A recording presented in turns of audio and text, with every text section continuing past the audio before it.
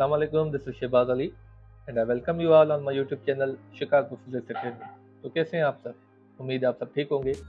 तो आज का जो लेक्चर वो क्लास नाइन से है चैप्टर नंबर फाइव से लेक्चर नंबर फोर है प्रेशर इन लिक्विड्स तो कल हमने पढ़ा था प्रेशर क्या होता है आज हम पढ़ेंगे प्रेशर लिक्विड्स में क्या होता है कैसे एक्ट करता है उसका फार्मूला क्या है और वो कैसे हम जो है फाइंड आउट कर सकते हैं। तो प्रेशर जो लिक्विड के अंदर होता है the pressure inside the liquid acts in all direction जब कोई भी चीज़ या कोई भी जानदार पानी के अंदर होता है तो उस पर जो पानी का प्रेशर लगता है लिक्विड का प्रेशर लगता है, वो ऑल डायरेक्शन से लगता है. जैसे एयर प्रेशर लगता है किसी भी बॉडी के ऊपर, वो सारी डायरेक्शन में जो एक्ट करता है. सिमिलरली लिक्विड जो होता है, वो भी किसी भी ऑब्जेक्ट के ऊपर हर डायरेक्शन से एक्ट करता है. यहाँ पे आप देख सकते हैं, एक फ़िश है, जो कि पानी के अंदर है. अब यहाँ पे इस पे जो प्रेशर लगेगा, वो इस साइड से भी लगेगा, ऊपर से भी लगेगा, यहाँ से भी लगेगा, नीचे से भी लगेगा। मतलब सारी डायरेक्शन से उस पर प्रेशर लगेगा।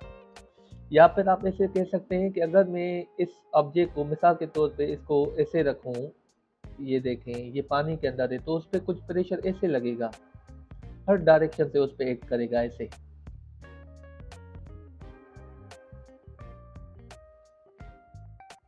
ऐसे प्रेशर एक्ट करेगा।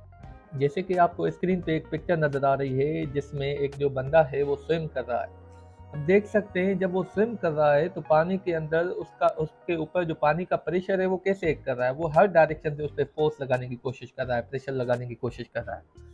तो लिक्विड में जो प्रेशर होता है, वो ऑल डायरेक्शन से एक करता है मतलब सारी डायरेक्शन से वो अपना जो है मैक्सिमम जो प्रेशर है, वो अप्लाई करने की कोशिश करता है।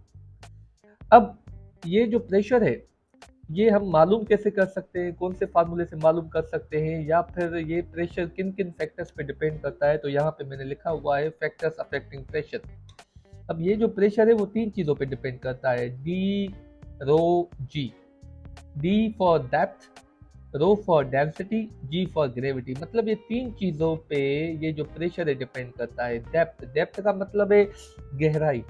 जितनी पानी की गहराई होगी मतलब जितनी गहराई में आप जाएँगे, उतना आप पे प्रेशर जो होगा वो ज़्यादा लगेगा। इसी वजह से जो जो फ़िश होती हैं, वो सरफेस पे स्विम करती हैं as compared to the bottom वो क्यों? क्योंकि सरफेस पे डेप्थ बहुत कम होती है, इसी वजह से उन पर प्रेशर जो लगता है, वो बहुत ही कम लगता है। बड़ी जो फ़िश होती हैं, जैसे डॉल्फिन हो गई, आपकी जो है वेल हो गई, वो जो है वो डेप्थ में स्विम करती हैं, उसकी वजह यही होती है कि वो प्रेशर जो है, वो अपने ऊपर बियर कर लेती है, पर छोटी जो फ़िश होती है, वो सरफेस के ऊपर स्विम करती है, जैसे कि उन पर प्रेशर कम लगे। ठीक है मतलब जितनी आप डेप्थ बढ़ाएँगे प्रेशर उतना ही बढ़ेगा। दूसरी चीज़ है rho rho for density density मतलब किसी भी लिक्विड की एक पर्टिकुलर डेंसिटी होती है। जितनी डेंसिटी ज़्यादा होगी प्रेशर उसका उतना ही ज़्यादा लगेगा। मतलब अगर किसी की डेंसिटी पानी से फाइव टाइम्स ज़्यादा है इसका मतलब ये होगा, वो लिक्विड पानी से फाइव टाइम ज़्यादा प्रेशर लगाएगा। ठीक है? ग्रेविटी ग्रेविटी जितनी ज़्यादा होगी, उतना प्रेशर भी ज़्यादा लगेगा। ठीक है? तो ये तीन चीज़ें हैं जिस पे जो फैक्ट प्रेशर जो है लिक्विड का, वो डिपेंड करता है। जैसे कि आपको स्क्रीन पे दिखाया जा रहा है कि एक बॉटल है, एक कंटेनर है, जिसमें से तीन होल जिसमें तीन होल बने हुए हैं। ठीक है? अब आप देखें कि ऊपर वाले होल में जो प्रेशर है, वो बहुत ही कम है। मिडिल वाले होल में प्रेशर बहुत थोड़ा सा ज़्यादा है और बॉटम वाले होल में प्रेशर मैक्सिमम है। वो क्यों है? जैसे ही हम गहराई में जाते हैं, जैसे ही डेप्थ में जाते हैं तो उसका प्रेशर बढ़ता जाता है। तो ये पिक्चर, ये जो पिक्चर है आपके सामने, वो बिल्कुल एलाबोरेट कर रही है कि प्रेशर इंक्रीजेज विद डेप्थ जैसे ही आप नीचे जाएँगे, उसकी, उसका जो प्रेशर है लिक्विड का, वो बढ़ता जाएगा। चलें, अब इसको मालूम करते हैं कि प्रेशर जो है न्यूमेरिकली हम कैसे फाइंड आउट कर सकते हैं। तो यहाँ पे एक न्यूमेरिकल लिखा हुआ है, जो कि कहता है calculate the pressure at the depth of three metre in a swimming pool मतलब एक स्विमिंग पूल है जिसकी तीन मीटर की गहराई पे प्रेशर कितना होगा, वो हमें मालूम करना है। तो सबसे पहले आपको पता है, हम डेटा बनाते हैं तो डेटा क्या है? ठीक है। तो पहले तो हमें डेप्थ मिली हुई है तो डी हमारे पास है थ्री मीटर ठीक है?